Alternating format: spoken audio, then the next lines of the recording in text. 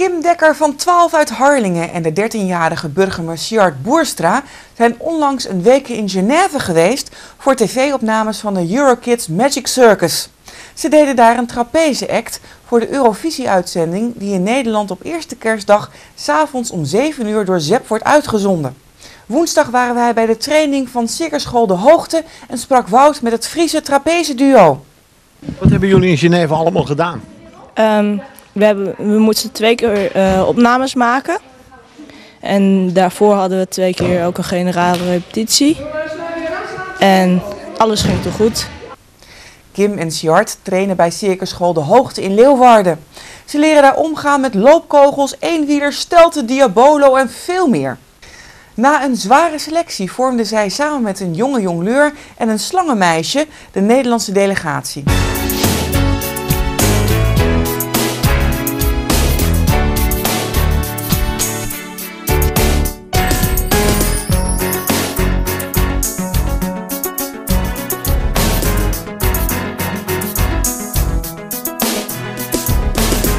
We hebben eerst auditie gedaan voor een eh, show, Magic Circus Show.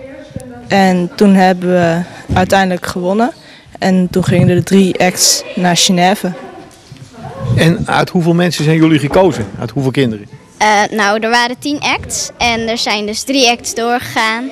En ik weet niet hoeveel er in het begin waren, maar je had ook nog inzendingen en daar werd dan uitgeselecteerd.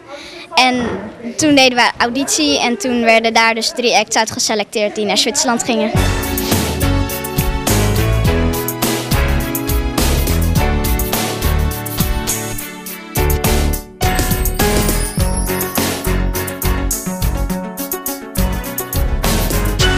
Wat is het leuke van trapeze?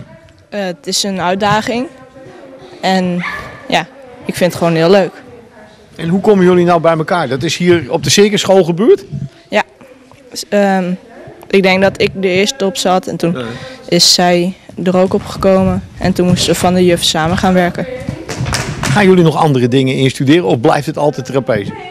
Ja, dat weten we nog niet. Het kan, ja, het kan zijn. Maar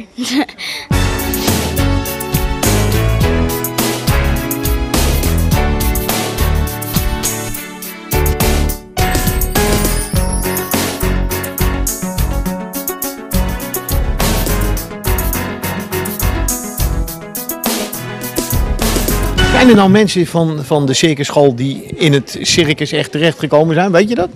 Um, ze hebben wel een vakopleiding gedaan, de juffen. En um, die uh, mensen die daar hebben, die het daar hebben geleerd, die, hebben daar, uh, die werken nu wel in het circus.